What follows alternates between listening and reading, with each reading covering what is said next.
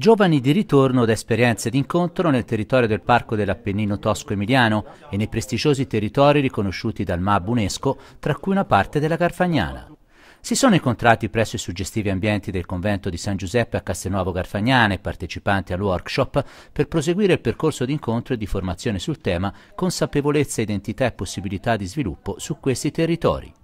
All'incontro hanno partecipato soprattutto giovani che hanno seguito tutti gli incontri, ma anche operatori del settore turistico, oltre ai vertici del Parco dell'Appennino Tosco-Emiliano, tra cui il direttore Giuseppe Vignali, il presidente Fausto Giovannelli, il sindaco di Villa Collemandina, Torino Tomagnini e il vicepresidente Pier Romano Mariani. Sì, questo incontro di oggi è appunto la restituzione di un incontro eh, che c'è stato nel Delta del Po, l'area MAB del Delta del Po, dove si è celebrato il forum mondiale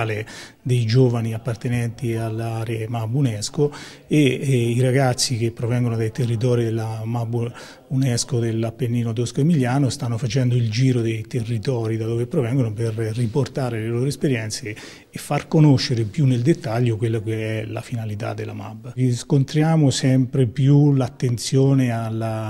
diciamo all'apprezzamento di far parte di una cosa unica perché appunto in Italia eh, non sono moltissime e eh, si basa soprattutto sulle eccellenze eh, naturalistiche, biologiche e culturali che sono presenti nei nostri territori e soprattutto quello che è fondamentale, quello che l'uomo è riuscito a mantenere in equilibrio in questi, in questi ambienti che noi conosciamo benissimo e questo è un valore aggiunto inestimabile.